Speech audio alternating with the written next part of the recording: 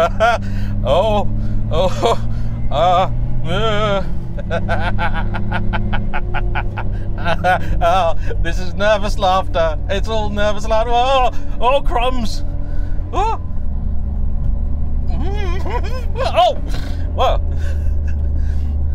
Hello, everybody. Today I am driving just about the strangest thing you can possibly think of. It's a Carver One, and I know you're jealous. Whee!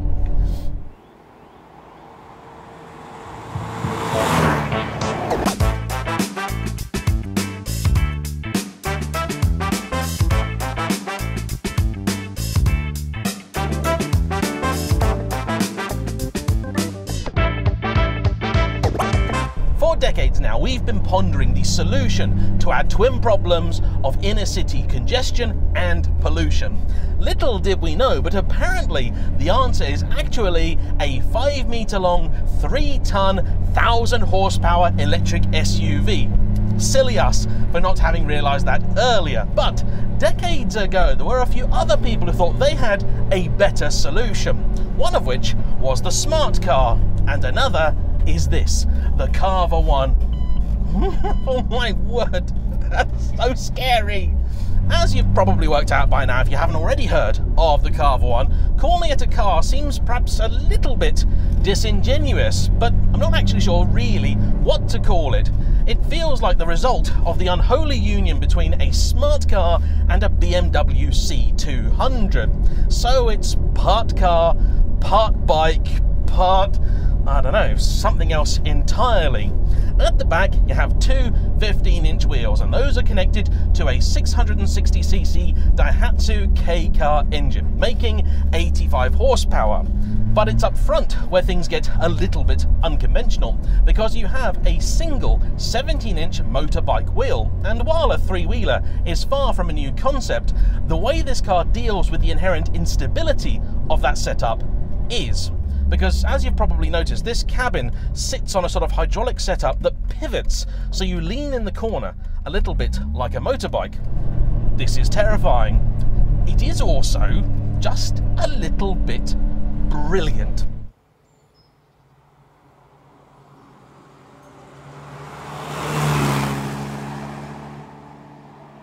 Are you on the hunt for a Dutch tricycle? Well, good luck finding one. But if you do, make sure to perform a CarVertical search. In just 60 seconds and with only a registration plate or a VIN number, a CarVertical search will perform all of the necessary checks on any potential used car purchase, including accident damage, regardless of whether a car has been written off or not, mileage discrepancies, outstanding finance, usage as a taxi, which does seem unlikely, and even handy hints and tips, common model failure points on some of the more popular makes, which does not include a Carver. CarVertical have also recently revised their reports, making them even easier to read than ever before. And for 10% off the service, don't forget to use my link in the description down below and my discount code, which is JAYEMM. Whee!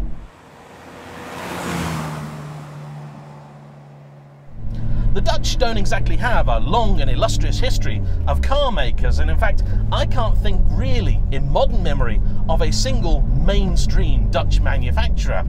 Just about the only other two that I care to mention would be Spyker and Donkervoort, and let's face it, neither of those are particularly conventional either. But this, even by comparison, is pretty nuts.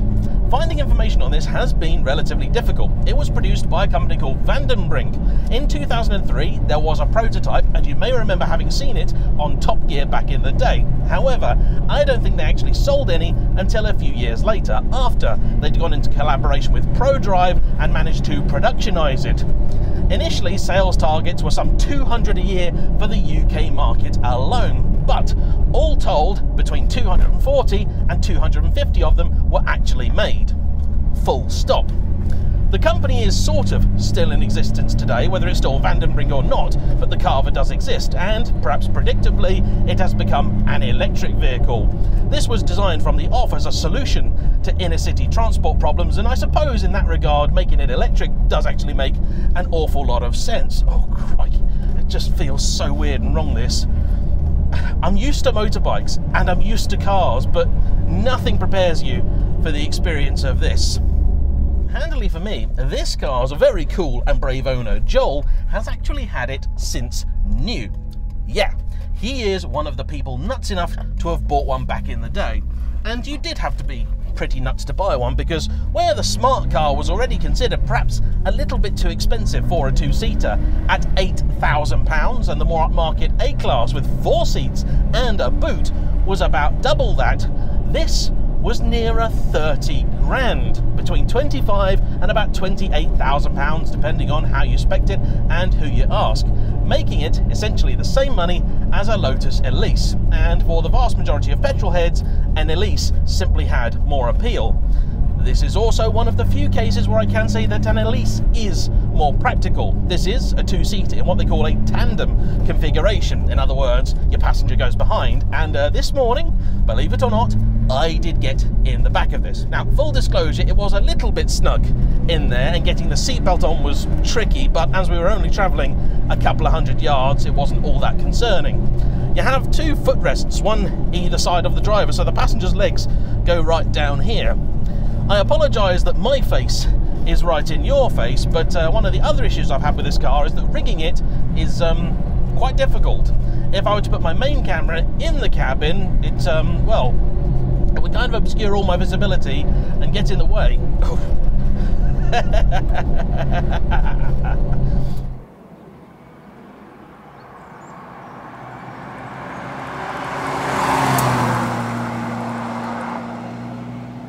There is also no boot whatsoever, that is essentially the rear seat, so it's a rather impractical little thing. Although visibility is superb, you have glass everywhere, including all the way up to here, which can be problematic because there is no sun visor of any description. There's a little sort of tint on it, that's it. And so, on brighter days like today, sunglasses or a hat are, I'm told, an essential accessory. Unlike the smart car, the gearbox is actually relatively conventional. A 5-speed manual, which is down here to the right, but it's not particularly good.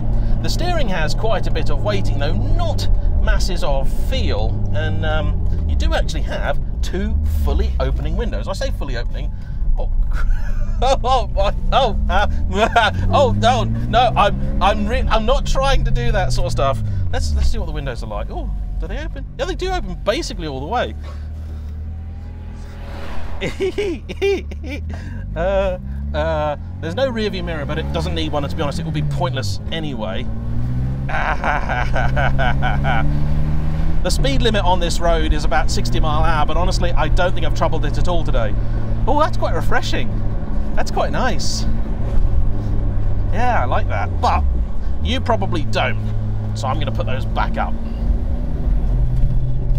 There is just the one door and it's on this side because you've got all the controls down here.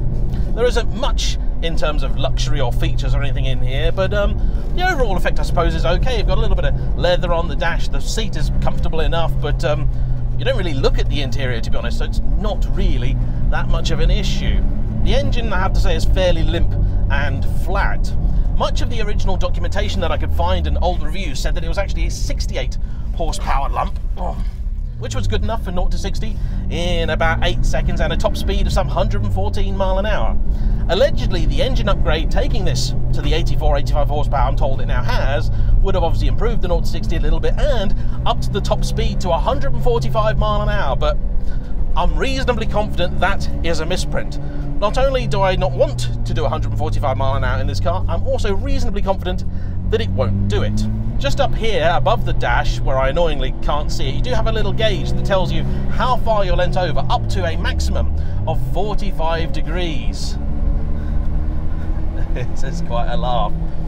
It doesn't like being adjusted mid-corner. Very, very disconcerting when you do that. the brakes are okay. Now we found ourselves in a little bit of traffic. Let me talk you through some of the reasons that this was always, always doomed to be a stupid idea. Much of it, as you might imagine, has to do with the three-wheel layout, which is just utterly and totally daft. First off, if it's winter and there is slush or crap on the roads, your middle wheel, and to be honest, in something like this, all of your wheels are right in the middle of it. In a car, of course, your wheels either side, and on a motorbike, you can choose which lane you want to be in. This, though, the middle wheel is going to be ploughing all the way down the road in the bit where everybody else has piled up all the dirt, snow, slush, or whatever. Anyone who's driven a Reliant Robin will know exactly what I'm talking about. Should you break down, you're also going to need specialist equipment, even if that just means a third ramp, because you need one for the middle wheel and two for the rears. Although it doesn't look it, it is actually only marginally longer than a smart car by about 30 centimetres, a foot or so. It is only two thirds the width, one metre rather than 1.5, but that's only when it's lent upright. And if you're not careful, it's very, very easy when going around a bend such as this to lean yourself over the white lines, which, as you might imagine, can incur some danger. Little bits of road like this too, where you've got some seriously aggressive camber, potholes and the like, it just doesn't enjoy. The ride quality isn't terrible. This is a pretty bad piece of road. It's fairly demanding and it's handling it better than I expect. But there are sections where it gets a little bit flummoxed, I have to say. It is also constantly creaking, which is a frustration, but um, that might just be my seating position and a little bit of leather. Oh, yeah, stuff like this. Oh, crumbs. Yeah, I, uh, it does not enjoy this. There's a really, really severe bit of camber on this road, and it does not like it at all. It's doing a very, very good job, and I suppose over time you begin to trust it, and Joel evidently does. He enjoys weird, wacky, and wonderful stuff. He's previously had Lancia Delta Integrale, a Fiat X19, and various other cool cars. He likes holding on to them for a long time too. And I can absolutely get why he's kept a hold of this.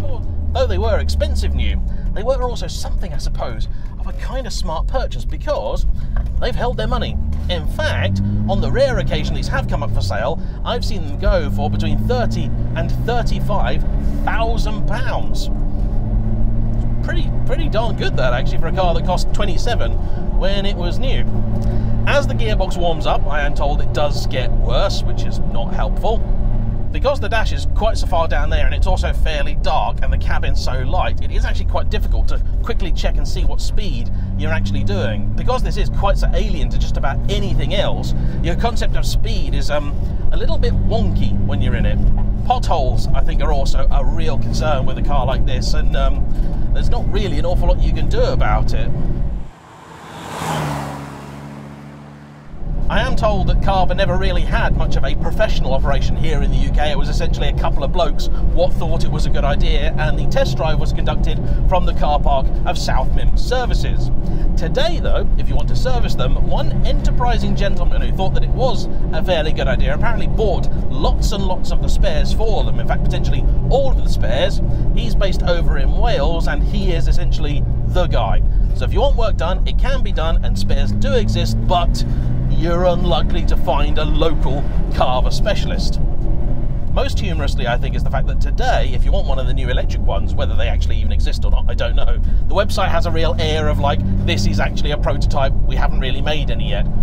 But one of them is a sort of, you know, modern day equivalent to this with a lower speed and short range, as is the case with all electric stuff. But the other one is a van. Yeah, somebody looked at this and went, hey, you know that silly, crazy trike thing that we've got that leans over all the time? Can we put a boot on it and call it a van? Joel seems to think that it'll be okay because, you know, physics dictates that although you'll be leaned over when you're in a bend, you're doing some speed, but as demonstrated back there, when you are going around a tight bend at two mile an hour, it will still lean over. And um, I think also Joel has perhaps a little bit too much faith in van drivers. There is no type of tomfoolery on the road you can conceive of that a van driver cannot do. They're the kind of unsung test pilots of the modern age, white van drivers. Could you imagine if Pizza Hut bought one of these? All of your toppings would be all off to one side every time you got a delivery with one. I mean, it's it's fun and it's hilarious and everything. There is even a cup holder down here. It's got a spanner in it, which is kind of worrying. And I am having fun and all that, but um, cripes, it is it is a little bit weird. The whole thing It's fair to say that the Carver is quite unlike anything else you've ever likely encountered, and in the brief time I had with it, it left me somewhat frustrated. The reason being, the steering wheel, I'm told, is directly related to the tilt angle of the cabin, and the hydraulics act as essentially a form of power steering. It also countersteers the front tyre as you would on a motorbike, and the wheels at the back will also help to steer you too. However, on a bike, you lean with your body as much as anything else, but in here, you do not. Meanwhile, in a car, as you ramp up speed, you don't need to turn the wheel anywhere near as much to get around a bend. My experience of the Carver told me that was not the case with this. Several times I approached a corner and found myself panicking because I turned the wheel what felt like the right amount, only for it not to be anywhere near enough. I suspect that if you were to test drive one of these in town, where it is designed to excel, you'd wind up doing exactly what I did, shaking yourself about and not feeling like you're gelled with the machine. Joel assures me that actually it's a very pleasant drive once you're used to it, and I don't doubt him. My brief passenger ride in the back showed me that it is possible to pilot one smoothly. However, it certainly isn't the work of a few minutes and though I didn't exactly get on with it, I would really welcome the opportunity to have a second go at the Carver at some point in the near future, because this is a vehicle that I really, really feel like I've only scratched the surface of. In fairness, I've only driven this for the sort of 10 15 minutes. Joel has taken this to the shops on many occasions. It turned up with shopping and stuff in the back of it. He's taken it to Scotland in a month. What a legend! What an absolute ruddy legend. The clutch is nice and easy enough, as is the brake. The pedals are by Tilton as well.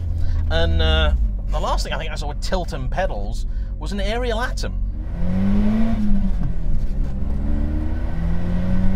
The red line in here is about seven and a half thousand, which will make you think it's a nice peppy, revvy little engine, but it's not. It gets to about six and it's kind of dumb, but that really is what I would expect from a K-car engine. It's certainly not lacking for pace, and honestly, if they offered me this with double the power, I'd say thank you, but no thank you. Oh, you're going to pull out in front of me? Yes. Yes, please do. I will cut through you like a knife.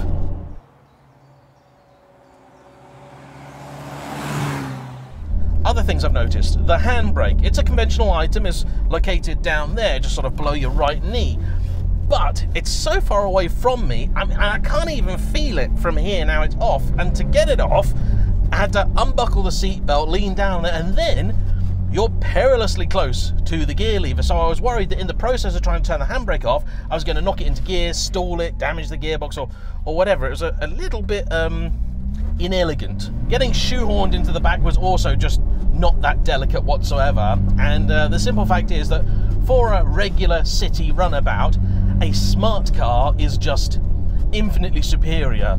It has a massive cabin by comparison, feels also nice and light and airy. It's got a boot, not a big one, but it has one, and it was about a quarter the price. The controls behind the wheel are all very, very conventional. In fact, they're one of the few things. Oh my word! I feel like I could just reach out. Oh no! Yeah, turning circle is abysmal. Where's the reverse? There, okay. Oh, and I've stalled it. I've stalled it. I'm taking up the whole road. I've stalled it. Oh, this is. Oh, I beached. I think I beached it a little bit as well. Might be why I stalled it. And there's people looking at me funny. Oh, blimey. Yeah, okay, so ground clearance, not very good. That's a worry.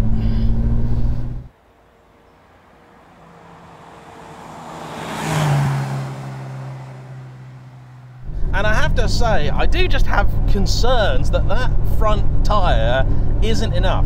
Now, fact is, these aren't very heavy, lighter even than a smart car, six to seven hundred kilos. But that means there's not a lot of weight pressing down on said wheel, and so, yeah, cheers. And so, if conditions aren't great, I do worry it would just understeer into the nearest hedgerow.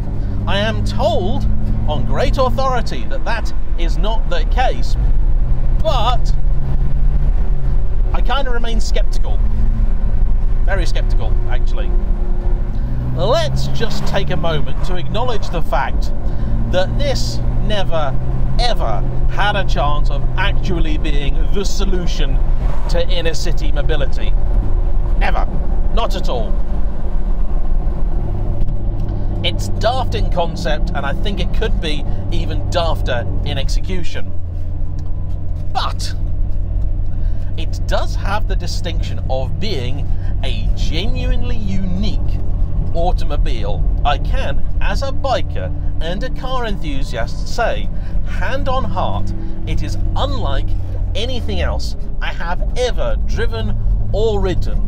£35,000 might seem like a lot of money to buy one of these, but I'll give you two darn good reasons why you might still want to consider buying one. First off, on a road like this in a Lamborghini Aventador, you would be, oh crushed. I don't care how many cylinders, how much horsepower, how many wheels, whatever it is that you dream of has. At 30 mile an hour, through a bend like this, it's unlikely to have quite the same effect and be quite as dramatic as a Carver 1. Secondly, you think you need to spend £200,000 on a Lamborghini Aventador as the ultimate poser wagon? No, no, no, no, no, no, no, no. I guarantee you, you rock up at any nightclub, any car show, any event, anywhere in one of these, you'll be the star of the day. Oh my word! Oh, it's, oh, it's so scary, and it keeps making weird fart noises. Anyway, that is enough from me. This is the Carver one, and I hope you've enjoyed today's video. I want to say a big thank you to Joel for bringing it out, and as ever, to you for watching. Don't forget to hit the like button, comment down below, and subscribe if you haven't already. I'll see you for the next one. Bye bye.